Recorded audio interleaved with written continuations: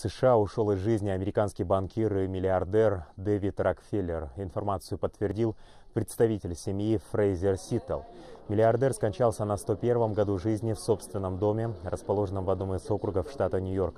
Дэвид Рокфеллер приходился внуком нефтяному магнату и первому в истории долларовому миллиардеру Джону Рокфеллеру, основателю Standard Oil.